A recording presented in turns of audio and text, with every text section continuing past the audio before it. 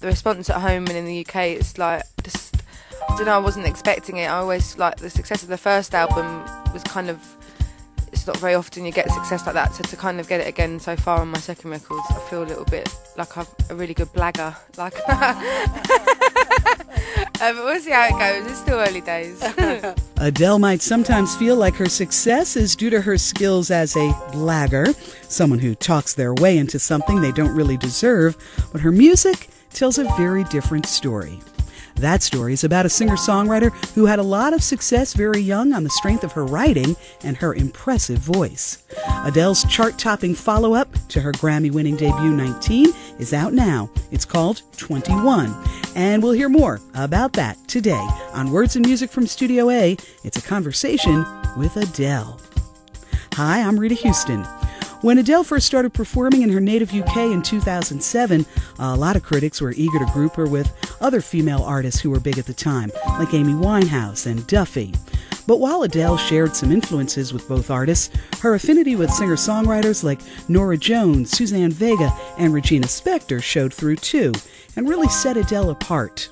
I first met Adele back in 2008 when 19 had just come out, and I was struck by her honesty as a songwriter, her serious North London accent, and of course, her powerful voice. And she's given that amazing voice a workout on 21, which, like 19, is named after her age when it came out. Most of the songs are originals, telling a story of love gone wrong, like only someone really, really young can. And there's one cover of Adele's mum's favorite band, The Cure. Let's get into our conversation with a different song, one Adele recorded especially for us. Here's an acoustic version of the first single from 21. Here's Adele with Rollin' in the Deep on FUV.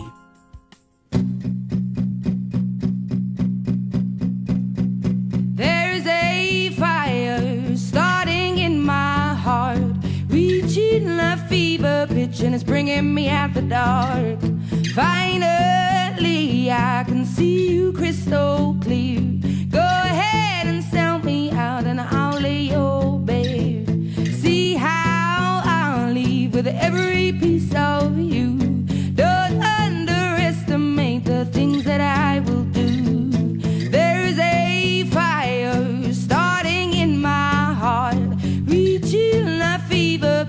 Bringing me out the dark.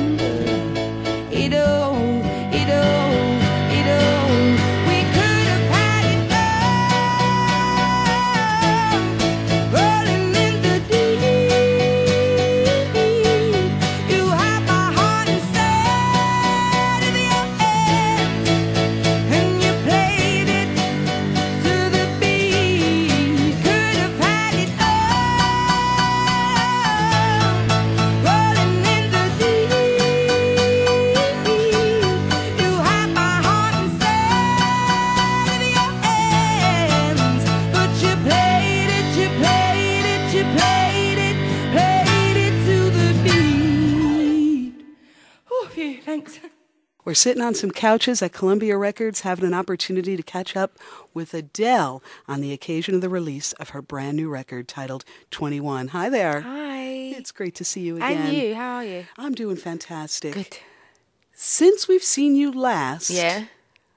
a lot has happened.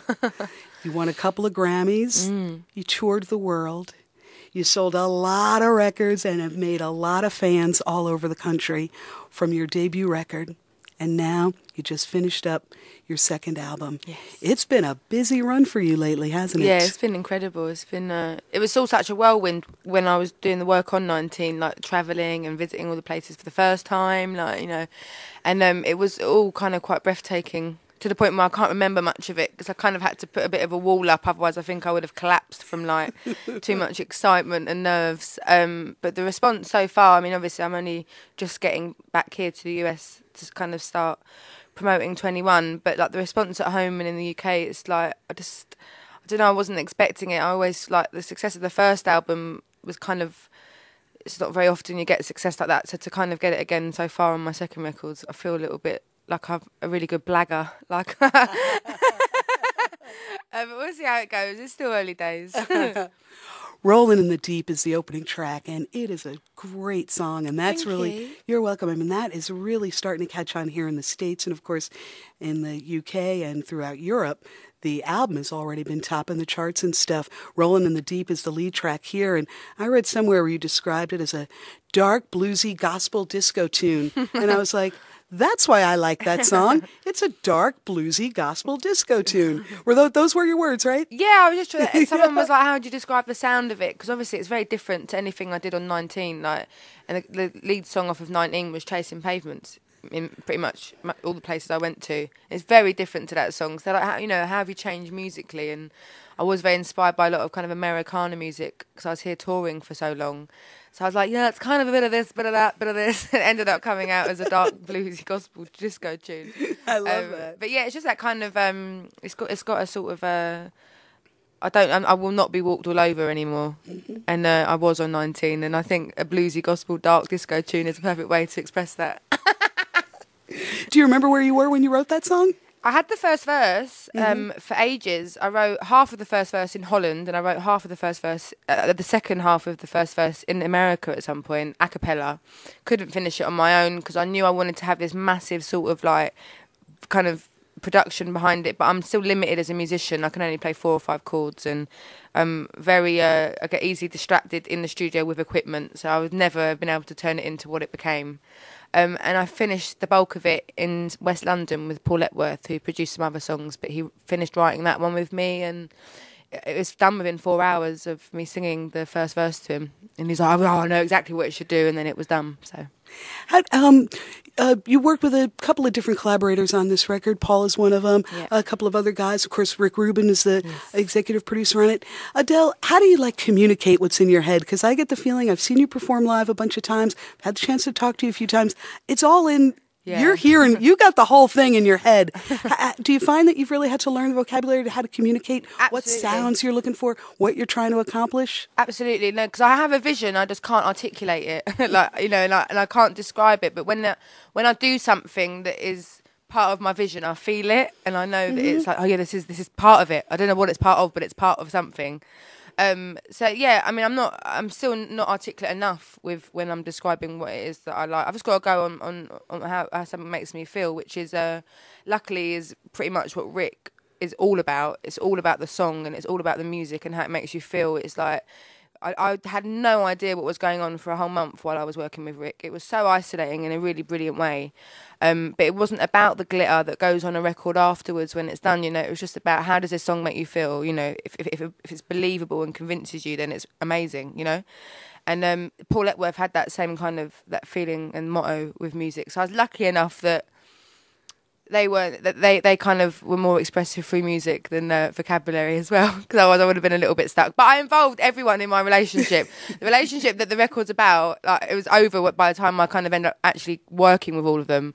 But I'd walk in and be like, "Oh my god!" Like No, but you need to keep those feelings close to the surface I need to because tell that's where creativity comes Then from, right? I need to tell them what I want to write about how I'm Yeah. feeling so they can try and imagine when they felt like that at some point. You know, and the perfect person with that was Dan Wilson, who I wrote the most heartbreaking breaking song I've ever written with someone like you. And he was just like, I, he was like, well, what is it? And I was like, it's this. I.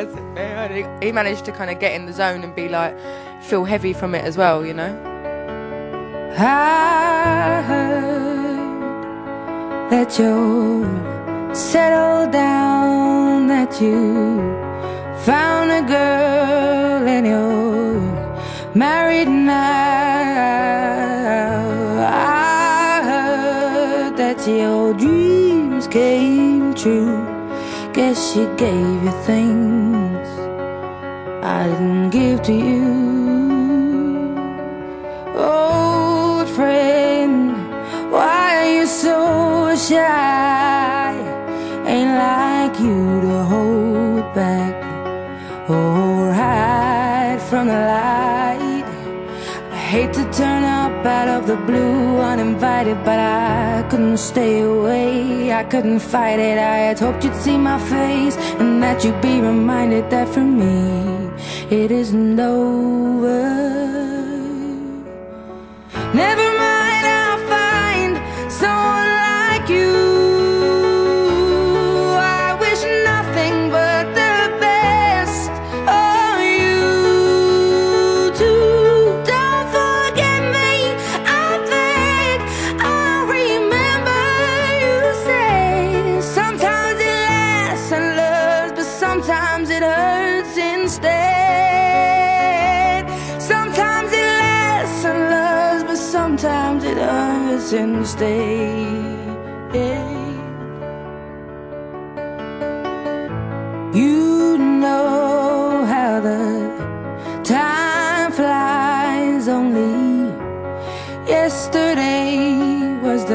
time of our lives. We were born and raised in a summer haze, bound by the surprise of our glory days. I hate to turn up out of the blue uninvited, but I couldn't stay away. I couldn't fight it. I had hoped you'd see my face and that you'd be reminded that for me it isn't over.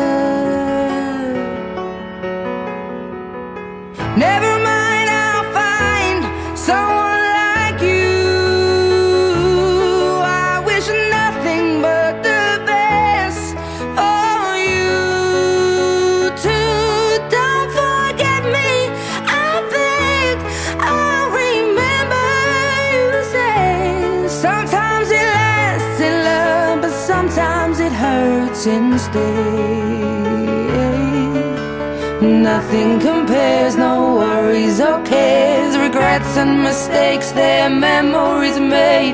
Who would have known how bittersweet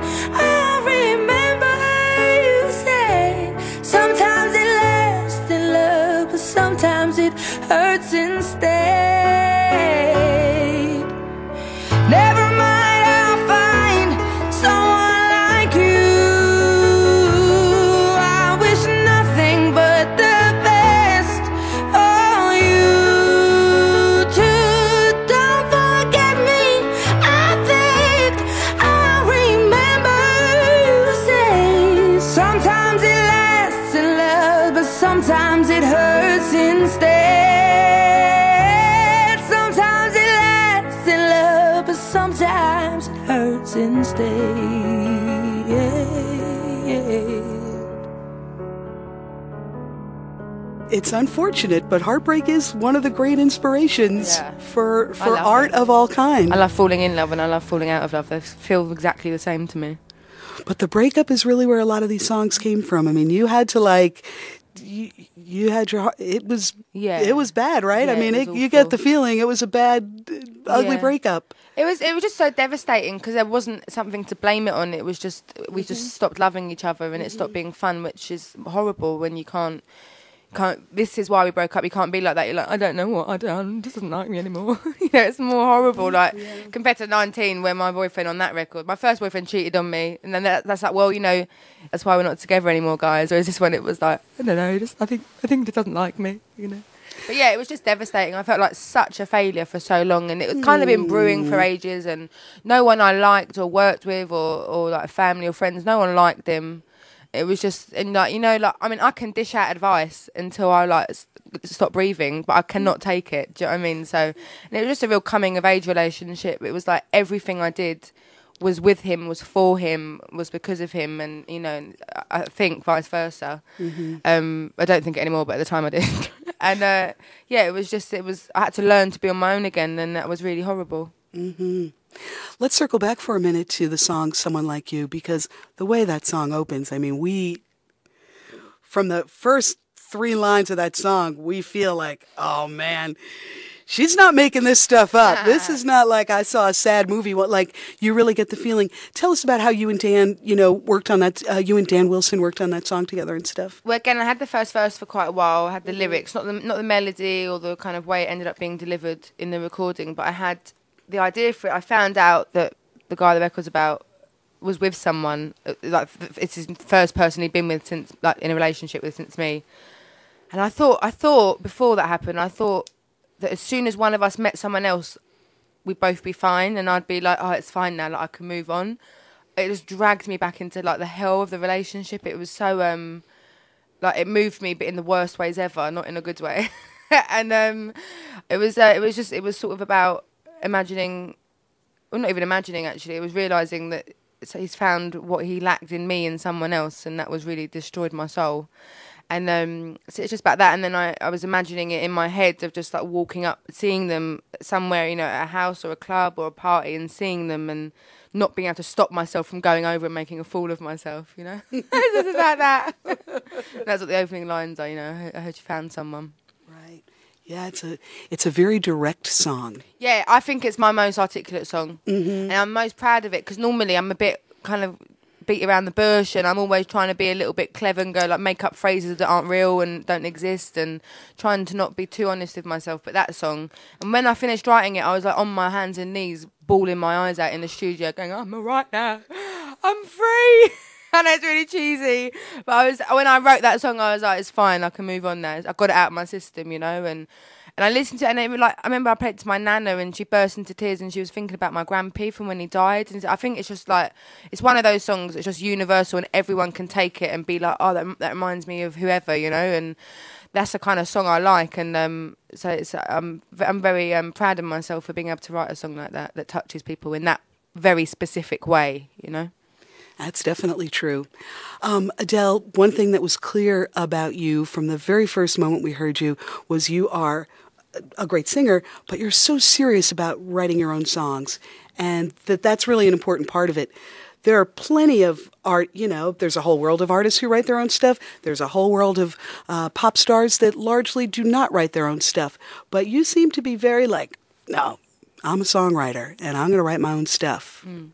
Is that very important to you? It is important to me because it's the artists that I like. Even though some of the artists I like never have never written a song in their life, like mm-hmm. Etta James and stuff like that. But it's that thing of I believe every single word that my favourite singers sing, and I like they completely convince me and make me feel like the song that they're singing was written for me 70 years before I was born sometimes, you know what I mean? And it's that believable thing. And if someone, like, or not someone, not like, but if people ever didn't believe what I was singing, I'd be really devastated and I'd stop making music. Mm-hmm. So it's important to me that I write about my own, that I, I write my songs and write about my own experiences f- f- as a comfort to, to other people. Do you know what I mean? Because it's, I don't. I've tried writing. I've tried singing songs that someone else has written and sent to me. I tried writing a song about my opinion on like something or other, whether it be a film or like a movement or politics or something. And I've tried writing songs about uh, friends and stuff like that. And I just, I get distracted. I get really bored, and I'm like, ugh, who is that person? Like, do you know what I mean? I just I don't know who it is. So it's important for me and, and for and for other people. I think that I write my own music. When it 'Cause came, otherwise, it will sound like everything else. Do you know what I mean? Like you said, there's a million other singers and there's a million other writers. right, You know? right. Um, uh, you know, there's this line, and I'm sure you're going to hear it a million times now that you're out talking about your new record and, and doing a lot of interviews, you know, which is like you get a lifetime to write your first record and whatever it is, like, and a year to write your second record or, or something. Were there some challenges that came up uh, like that for you in putting together the songs for 21? No, uh, before I actually was in the studio, when I first started thinking, oh, right, okay, so it maybe in about four or five months, I'll start winding, winding down off of 19 and start kind of stepping towards the next record. Um, and when I was doing that, I felt really daunted by it. I was thinking, what am I going to write about? Air miles and hotels and like courier services? like, so really boring that no one can relate to. Be totally egotistical for a while.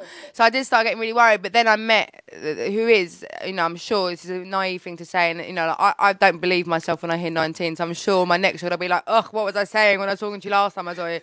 For me, my ex was the love of my life, and I will constantly look for him in every other person I'm going to be with in, in the future. You know, I just, or I would always look for him. In, I don't want to be with him, but I'll look for him in other people. And then I met him, and I was so um, ready to write. By the time that 19 did come to an end, and I didn't have to go in the studio, I could have had as much time off as I wanted. I asked for six months off, but within three days, I was like, "Yeah, I'm a bit bored. Can I go into the studio?" It was perfect timing, and I can't admit things to myself. I cannot talk about my feelings. I have to put them into song. And I've always done that. When I was little, I wasn't writing songs, but I was painting pictures. If I like didn't share or something, and my mum was like, "You can't have it. Give it to your cousin or something," I'd draw a picture and give it to my mum and my cousin, and be like, "I'm really sorry." Okay, and it was um. So by the time it actually came to being in the studio, I was so ready to get this off of my chest, and I was so excited to be making music. I love making music. It's like it's the only thing I like doing, you know. And it's just that I just I became really um oblivious and forgot in a really bad way. Forgot about everything that happened on 19 because I was just so excited to be making new music and being in a room with loads of musicians, which I think actually ended up. When, sometimes I'd catch myself being like, "Why aren't you thinking about whether or not this song is radio friendly?" and stuff like that. And I'd be getting a bit concerned because I am very involved in all the kind of other aspects of what I do.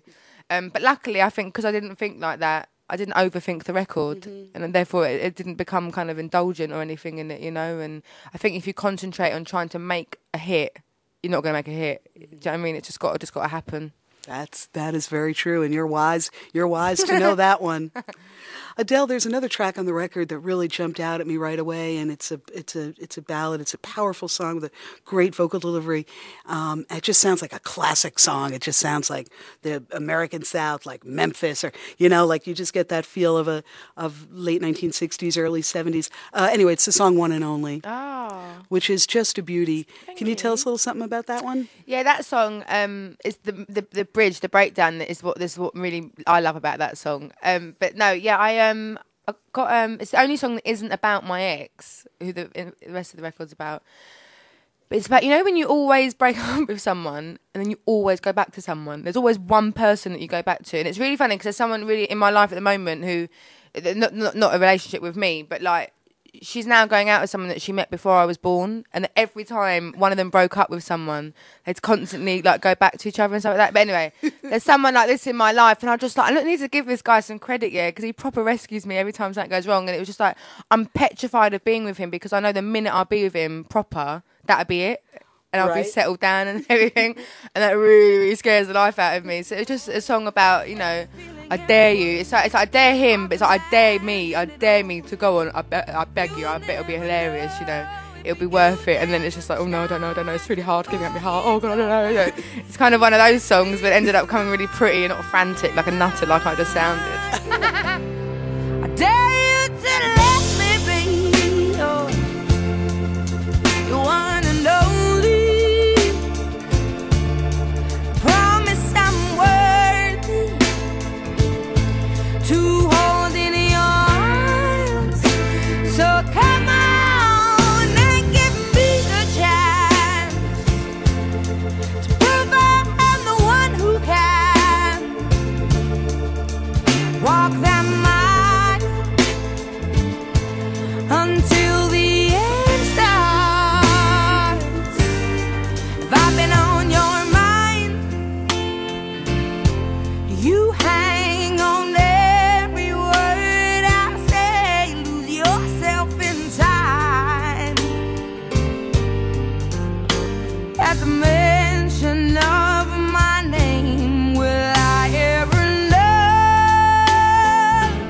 We're talking to Adele here at 90.7 FM WFUV. So your first record's 19. The new one just out is titled 21.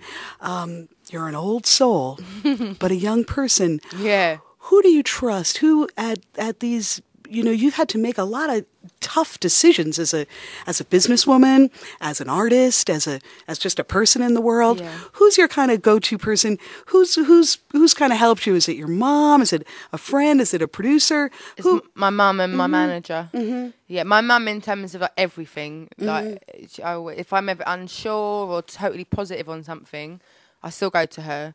And with my manager, I trust my manager with my life. He's one of my best friends as well. Like, not my best friend and became my manager because I do actually think that's really dangerous when you get a friend to manage you. But he was my manager, and we've just become best mates. Like, and he's, he's, it's brilliant because like if I'm even if I'm being a bit lazy and don't want to go to like a strategic meeting, he'll drag me to it because you know it's he thinks it's really important that I understand every aspect of what I do and why I do it and and uh, why why and what other people who work for me. Because a lot of people work with me, you know, it's, it's, and it was I realised that when I was last in the offices here, because I've got two labels, I've got XL in England and Columbia here, and everyone flew in, and there were more than like thirty-five people in the room, and they were all directly involved with my record. Um, you know, so um, it was important to me that, and for him, that I know everything about what it is.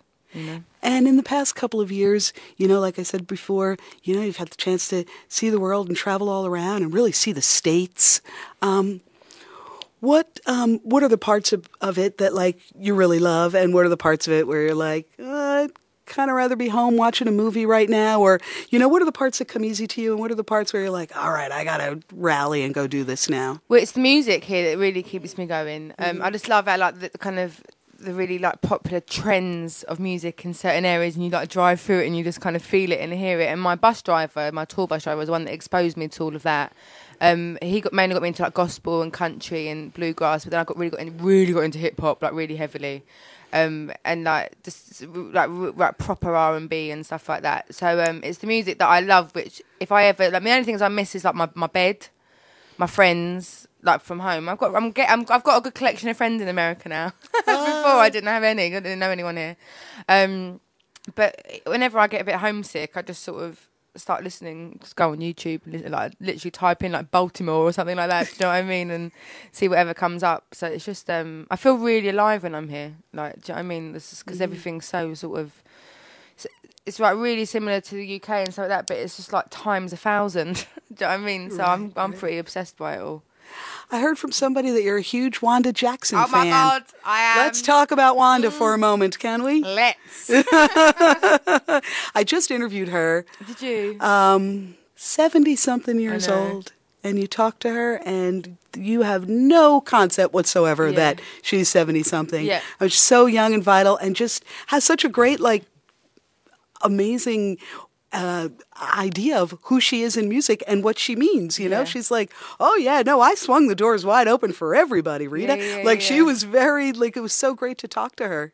I Where did you her. first hear her? Did you hear her when you were touring? I heard when I was here. My friend who lives um who lives in New York um sent me "Funnel of Love," thinking I'd love it just because I, th- I think I'd sung him. I don't know for sure. I'm pretty sure though that I'd um sung the first verse of "Rolling in the Deep" to him, going, "This is what I want to do." And that song is very like quite Wanda. It's just that fierceness of being like, "I don't Yeah. think so. Get out." It's that kind of like but vulnerable thing as well that Wanda Jackson has. Listened to it, loved it. Thought it was a Phil Spector production at first. Anyway, I loved that song. Got into it, and I was um. This was the second tour, the second tour after the, the tour after the Grammys. That was when I got into her, and um. And then I got into like Memory Mountain and You Bug Me Bad and just like just, just I love her anyway. And um and then my friend who introduced me to her, t- um he's a photographer and took some photographs for the Observer Music Monthly, which is an amazing music magazine in England, but it's dormant now. But he took the last edition. He took the photos of called Legends, and Wanda Jackson was one of them. And she described, she introduced herself before saying, "Oh, hey, I'm Wanda." She was like, "I'm the angel with the dirty mouth." And when James told me that, I was like, "Oh my god, oh my god!" She's like my my hero. You Who can relate this- to that one. Who is this diva? Love her. And um, so then I just like started like proper researching her. Like every week I'd go on her Wikipedia and see if anything had been added. Like there's just something like she's so fierce, and I just love like she used to go out of Elvis. I mean, she's like she's like the rockabilly Etta James. And I've got the new record that Jack White did. I haven't listened to it yet. I need to have time where I can sit down and listen to it and not have someone calling me or something like that. But um, yeah, I just love her. I just think um, there's an attitude with her that I just I love love it. I read a quote about her where she said, somebody said, Oh, so was Elvis a good kisser or something? And she said, No, I'm a good kisser or something like that. Was just She's amazing, yeah. I've got so many like refrigerator magnets. My fridge is covered with Wanda Jackson, like Rockabilly Queen magnets. Such a loser. I get them on eBay. There's like a there's a Wanda Jackson collector on eBay, and I buy loads of stuff. That's awesome. Adele, on the new record, you do a cover of The Cure's love song. Yeah. I mean, this is a song that's meant so much to so many people across decades, like no matter how, you know, and, and your approach to it is very interesting because although so many of us know and love that song and have known and loved it for years, with your version, you just hear the song in a different way where you're like, oh, wow. Like, of course we knew it was a great song, but like, wow, I never really like knew like lyrically how good that song is, you know? Was that one of, because on the first record you did Dylan's Make You Feel My Love, which was Which is Gorgeous. Exactly the reason that I did it that you just said was because I couldn't understand the lyrics when I heard Bob Dylan singing it. So I googled them, and the lyrics were stunning. And I was like, I've got to cover this song just so someone can hear how amazing and stunning these lyrics are. That's the reason I did Make You Feel My Love. So, but Love Song, um, Never Tear Us Apart was the cover I was doing actually by INXS. I love that song. First song I learned how to play. Like I just loved it. And um, then we were doing, we were covering it. Rick, produced it, and we were covering it. And I was like, I was singing it, and then I listened back to it and I was like, who is that person? Is that thing that I was saying earlier? I did not believe a single word I was singing.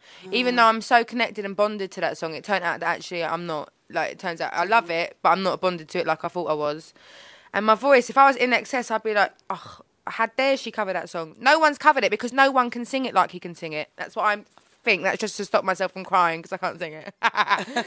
anyway, and then me and Rick were throwing ideas back and forth about another cover because I definitely wanted a cover. Just because of the way the response to "Make You Feel My Love" was amazing, so I was like, I want to do a cover. I love the challenge, but you've either got to make it better than the original, or you've got to completely make a new song out of it. And then um, Smokey Hormel, who's one of the guitarists that played on the songs that I did with Rick, he was like, "Oh, what about Love Song? You remember we did it with Barbara?" And I was like, "Oh, who- who's Barbara?" And they're like, "Oh, Barbra Streisand." And I was like, "What?" and then Rick was going to do a record, a Bossa Nova covers record of Barbra Streisand, and Smokey um, had. With- I didn't say Barbra Streisand. I didn't say Barbara then, did I? I don't know Barbara. So Barbra Streisand, not Barbara. Sorry. I thought I said Barbara then. I was like, oh my god. Anyway, and then Smokey um, had rearranged it Bossa Nova style. Well, not like Girl from Ipanema, but sort of like a tinge of Bossa Nova. And they played it, and I was so emotional because I was so homesick and stuff like that. And my first show I saw was The Cure. I was three years old, and it was in North London in a park with my mum. And like my mum is obsessed with The Cure, and it was just like it just it just any other day, if someone had suggested me to sing a Cure song, I probably would have said no. But right at that moment in time, I was like, absolutely. And then we just started jamming it, and what it and the like, what we were jamming became the song, like became the recording. Um, but it's just yeah, I mean, it's it's just so relevant them lyrics, especially doing what I do. Like, do you know what I mean? You're away a lot, and you miss people, and it really is like con- everything's by email and things can be misconstrued and like like read wrong and stuff like that and it's like whatever thing anything I say is not what you think I'm saying and you know however long I'm away I'm always gonna love you. Please don't think that because I'm not there doesn't mean I don't love you. So at that moment in time it was just like that song just summed up my entire life and then it, I just loved the recording. It's like a musical avatar. It's like it's like surround sound. There's like bits of percussion. It's just a total Rick recording. It's the reason I worked with Rick. So brilliant yeah We're talking to Adele here at 90.7 FM WFUV. Uh, it's great to get a minute to sit down and, and spend some time with you. I guess you got a busy year ahead, a busy summer. Yeah. You're going to be running around doing all the festivals and stuff, I don't do festivals right? They scare the life out of me, festivals. Yeah. I like going to them, but the prospect of performing at a them- festival makes me want to jump off of the building. Honestly, the thought of playing at a festival, just the thought of no one coming to watch you or loads of people coming to see you just makes me want to kill myself. Either way. Either way, there's uh, no way I can be. And, and I've I've always said this from day one as well. I did Bonnaroo. I loved I it. I remember that, I loved it, but afterwards I thought I felt like killing myself just because of the rush I was getting that was horrible and good. Yeah, so I'm not going to be doing any festivals in the summer. No. So what do you think? What do you think's on tap for you? What's what? You're just going to be busy running all over touring? Well, I don't know in terms of the summer because it's festivals, so I don't know. I'll probably just be chilling out at home. No, I'm joking. I'll be doing something. Yeah, no, I'm just got um, lots of touring because I, you know, like I said, the record's doing well everywhere this time. Hopefully, it'll do well here again, so I can come and talk. Because I love touring here. It's great to talk to you, Adele, and we you. love this new album. Thanks. I'm Rita Houston talking with Adele here on FUV. Let's go out with one more song from 21. Here's that Cure cover. Here's Love Song on FUV.